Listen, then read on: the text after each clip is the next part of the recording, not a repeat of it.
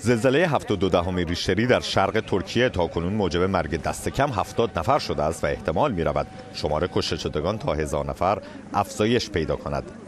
به رقم فرارسیدن شب نیروهای امدادی همچنان مشغول کمک رسانی به آسیب دیدگان و یافتن بازماندگان از زیر آوار هستند.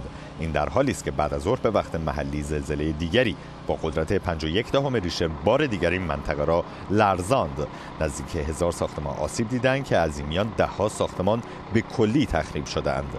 مقامات محلی درخواست ارسال کمک های بیشتر به منطقه کردند شهردار ارکیس در یک گفتگو با تلویزیون ترکیه اعلام کرده است که تعداد کشته شدگان زیاد است اما هنوز شمار دقیقی از قربانیان در دست نیست. و همچنین با بحرانی خواندن شرایط خواستار اعزام فوری گروه های نجات به منطقه شد.